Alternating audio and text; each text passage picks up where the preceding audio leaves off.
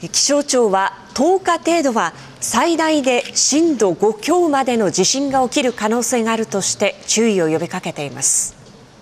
今後も同程度あるいはそれよりやや大きな規模の地震が発生する可能性があります。震度ずっと5弱から5強となる可能性がありますので十分注意していただきたいと思います。気象庁はまた海底火山の噴火に結びつくかどうかを予測するのは極めて難しいとしながらもこれまでに海底火山の噴火の前に見られるような状況は起きていないとしています。